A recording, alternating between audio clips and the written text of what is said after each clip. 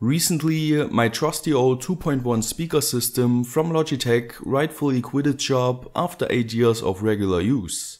So obviously I salvaged a couple of useful components and also got myself a new replacement, which are those Z200 Logitech speakers.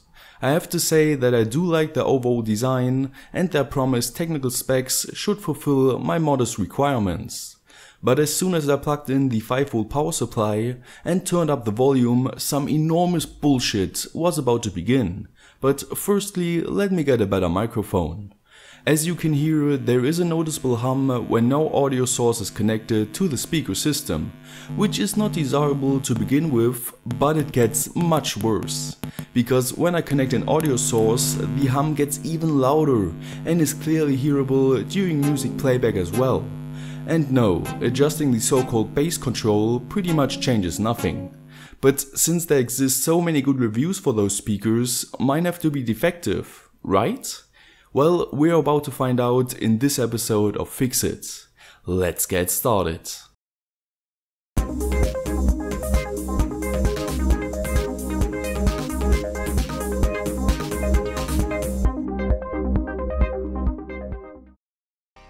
First off, I removed 8 small screws from each speaker and additionally the potentiometer nuts from the main control speaker in order to open them both up.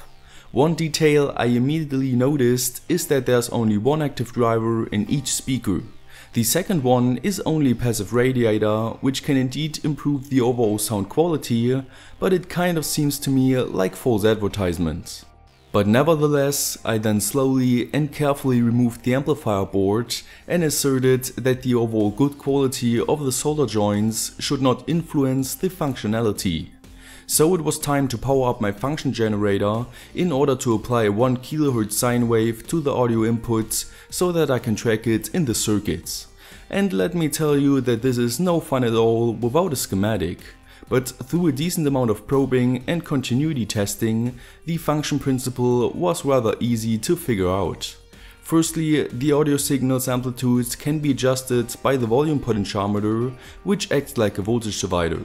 Afterwards, the left audio signal connects to pin 2 of this KS4558 IC. And even though I did not find an official datasheet, the IC seems to be a dual op-amp IC, which most of the time feature the same pinout. So I checked the output pin and recorded a non-inverted amplified sine wave with a DC offset. And the bass control does slightly influence the gain of this op-amp configuration. This output voltage then feeds into the second IC of the amplifier board, the CS8563S, which appears to be a 2 times 4.5 watts class D amp, which directly controls both of the speakers. In a nutshell, it is not that complicated, but the question still remains where the buzzing comes from. Well, not really. Right at the start I noticed that the ground pin of the 3.5mm jack is not connected to the ground potential of the amplifier circuit.